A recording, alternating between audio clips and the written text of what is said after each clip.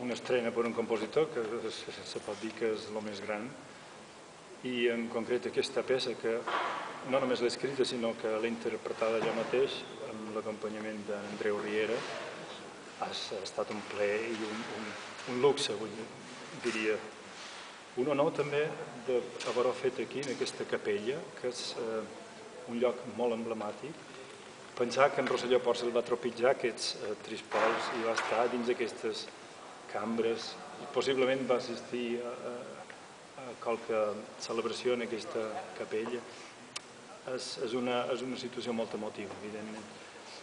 I com a compositor i cantant no puc dir que ho hagi fet moltes vegades, però aquesta vegada ha estat una,